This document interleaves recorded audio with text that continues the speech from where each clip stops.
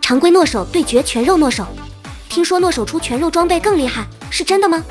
仔细想想，诺手因为有被动的攻击力加成，只要能抗就能有很高的伤害。打出血怒的诺手，活的时间越久，伤害就越高。那么这两种诺手到底哪个更强呢？差距有多大？可能在座的各位观众以前也想过这样的问题。可以发现，双方只用普通攻击的情况下，全肉诺手的对拼能力完全不输于常规诺手。都用技能会怎么样呢？我们来看看吧。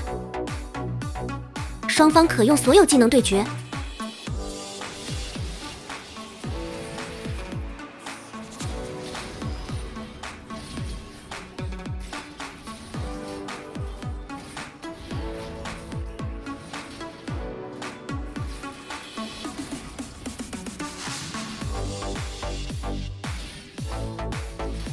双方差距比较明显，有观众说过全肉诺手必须要出一件黑切，那我们给他出黑切试试。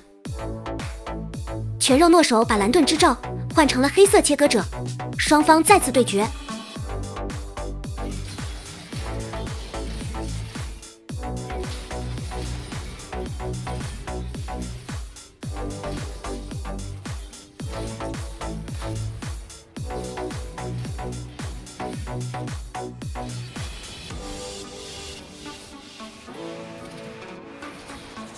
这次双方差距变小了，可惜还是没打过。如果再给他出一件巨九，会不会更厉害呢？我们换装备试试。全肉诺手把石像鬼石板甲换成了巨型九头蛇，双方进入了最后的决赛。